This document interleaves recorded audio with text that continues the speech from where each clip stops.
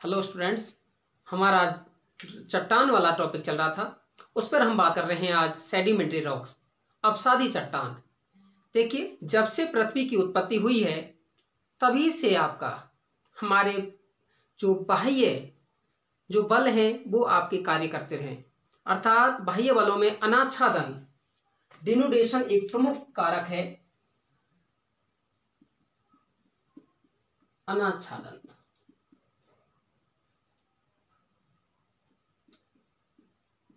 डिनोडेशन, जिसमें दोनों क्रियाएँ शामिल होती हैं अपक्षय और अपर्दन। अपक्षय प्लस अपर्दन।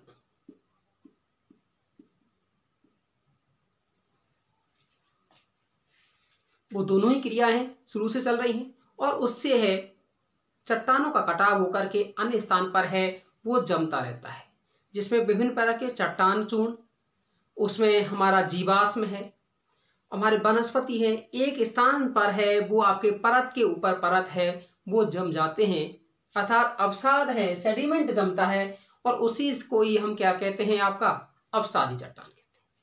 जैसे मैंने बताया, पहले ज्वालामुखी क्रिया हुई, और ज्वालामुखी क्रिया होने के बाद में है, मलमा का जमाव दोनों तरफ़ हुआ, हमारी आग्नि चट्टान बनी, और आग्नि चट्टान यहाँ पर अपक्षय की घटना हुई। अपक्षय घटना क्या है? चट्टानों के टूट फूट की घटना है, जिसमें बार बार आपका कंप्रेशन टेंशन होने के बाद है, चट्टानें टूटती हैं और अपर्दन के कारकों के द्वारा जल है, पवन है, हिमानी है, इन बल्बों को ले जाकर के कहा इकट्ठा कर देती है? इस वाले भाग में।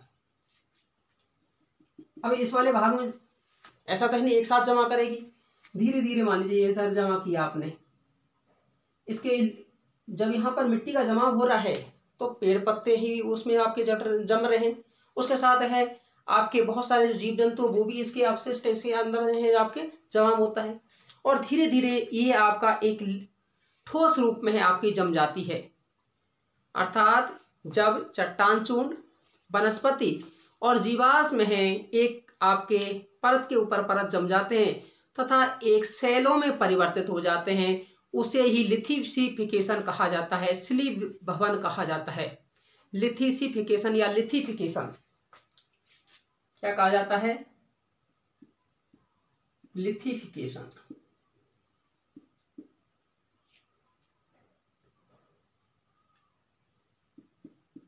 सिली भवन कई बार पूछ लेता है सिली भवन क्या है? कि अपसारी चट्टान निर्माण की प्रक्रिया में जब विभिन्न प्रकार के चट्टान और आपके जीवास और वनस्पति हैं, अब परत के ऊपर परत जम जाती है तथा एक ठोस चट्टान के रूप में जम जाती है, उसे हम क्या कहते हैं? स्ली भवन या लिथिफिकेशन कहा जाता है। अब दूसरी चीज़ आती है, ये जो आपकी सेडिमेंट्री रॉक्स है, हमारी जो क्रस्ट जो या भूपृष्ठ वाला जो भाग है, उसके पिछहत्तर परसेंट भूपृष्ठ कहिए या क्रस्ट कहिए? कि सेवेंटी फाइव परसेंट भाग पर विस्तृत है। लेकिन क्रस्ट के निर्माण में इसका योगदान फाइव परसेंट है।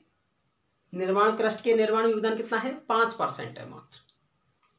दूसरी चीज़ आती है कि ये जो आपका अपसादीकरण की जो प्रक्रिया है, ये कई तरह से होती है।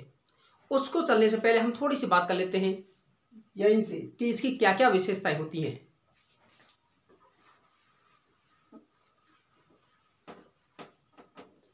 तो पहली चीज़ है, विशेषता क्या होंगी?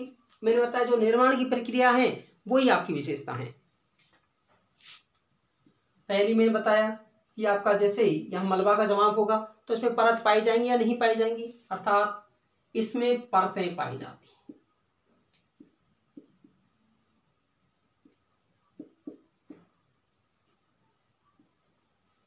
दूसरा आपका, परतें पाई जाएँगी।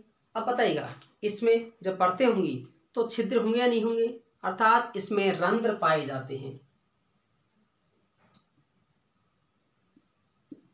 रंध्र पाए जाते हैं।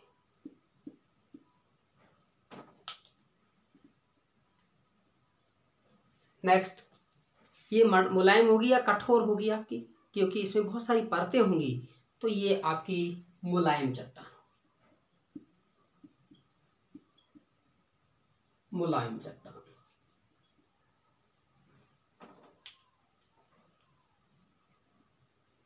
अब नेक्स्ट बताइएगा। क्या इसमें जीवाश्म है, वो आपके पाए जाएँगे या नहीं पाए जाएँगे?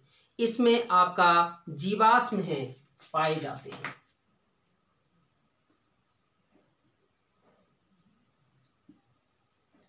जीवाश्म पाए जाते हैं। नेक्स्ट है, इसका अपर्दन। बताइएगा, कम होगा, अधिक होगा? अपर्दन अधिक होता है। जब मुलायम है तो अपर्दन भी अधिक होगा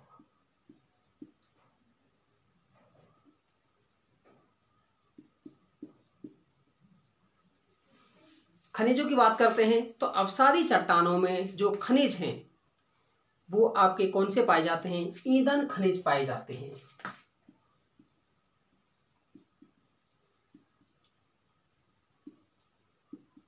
ईंधन खनिज और अधात्विक खनिज भी। अधात्विक खनिज पाए जाते हैं। अब दूसरी बात करते हैं हम कि इसका निर्माण पद्धति के आधार पर यह कितने प्रकार की होती है, उस पर बात कर लेते हैं।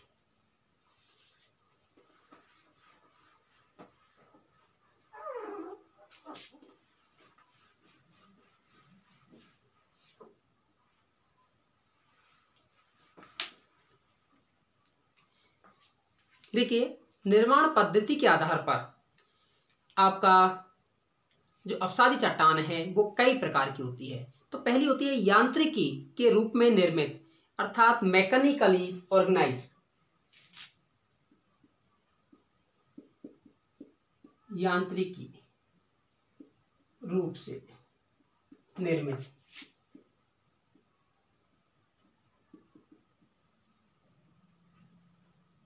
मैकेनिकली। अब देखिए मैकेनिकली का मैंने बताया कि यहाँ सन है और ये चट्टान है। और जब सन दिन में टेम्परेचर अधिक होगा टेम्परेचर अधिक हुआ चट्टान क्या होंगी? फैलेंगी। और रात के समय टेम्परेचर कम हुआ तो चट्टान क्या होंगी? सुखड़ेंगी। अपचय की क्रिया क्या होगी? अधिक होगी। इसी तरह से जहाँ बर्फ़ी कारण का, का आपका ग्लेशियसन होता है हिमाच्छादन होता है, वहाँ पर कोई रंध्र के माध्यम से है, जल आपका अंदर की तरफ़ चला जाता है दिन के समय, लेकिन रात के समय है, वो जम जाता है। और आपको पता होगा, जब आपके जल की तुलना में बर्फ़ का आयतन अधिक होता है, और जब वो फैलेगी तो चट्टानें आपकी क्या होंगी? टूटेंगी। और ये बार बार घटना होगी तो उससे चट्टानों किसकी क्रिया होगी? अपचय की क्रिया होगी, जिससे चट्टान चूर्ण है आपके क्या होते हैं? टूट जाते हैं। जिससे हमारा है सैंडस्टोन है, बाल का स्तूप है, चूना पत्थर है, उसका निर्माण होता है। किस किस का निर्माण होता है? चूना पत्थर।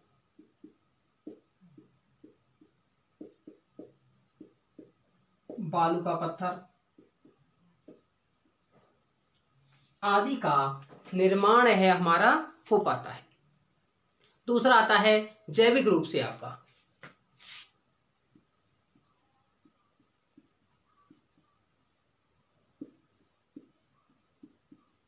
देखिए, जैविक रूप से आपका ऑर्गेनाइज या आपका ऑर्गेनिकली रूप से आपका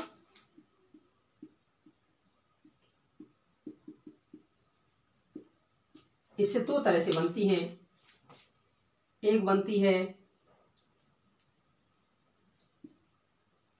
चूना प्रधान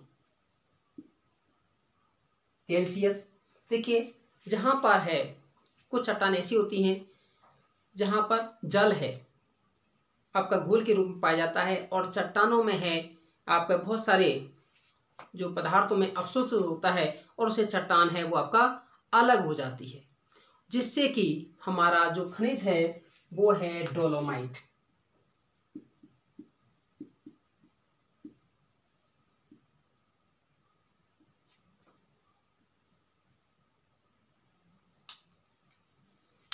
दूसरी है इसमें कार्बनिक। देखिए, कार्बनिक की हम बात करते हैं, जिसमें उष्णार्ध वनस्पति वाले क्षेत्रों में ये आपका पाया जाता है। और इसमें कार्बनिक में जैसे हमारे जितने भी है, ईंधन खनिज हैं, कोयला है, पेट्रोलियम है, उसका निर्माण आपका होता है। अब हम बात करते हैं नेक्स्ट रासायनिक रूप से। और जो रासायनिक रूप से जो हमारी बनती हैं,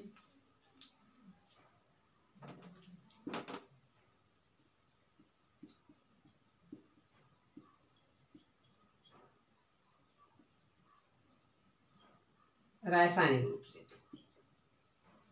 और रासायनिक रूप से हम बात कर लें तो आपका, जैसे कि लाइम स्टोन है, उनका निर्माण आपका होता है।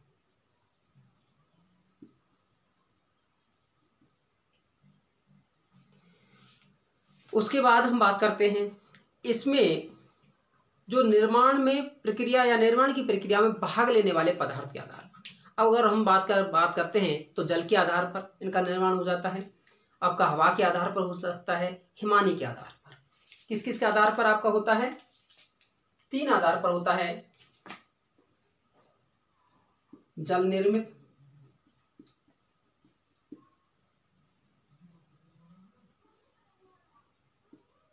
दूसरा है वायु निर्मित तीसरा है हिमानी निर्मित।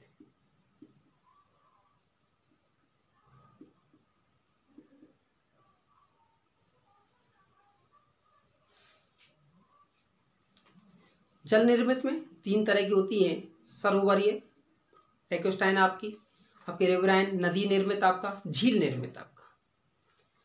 दूसरी चीज़ आती है वायु निर्मित जो हवा है, मिट्टी के कण को एक स्थान से दूसरे स्थान पर ले जाती है, उसे लोएस का निर्माण होता है। और तीसरा है हिमानी निर्मित, जिसमें विभिन्न प्रकार के कंकड़ पत्थरों का जमाव होता है और जिससे हिमोड़ों का निर्माण होता है।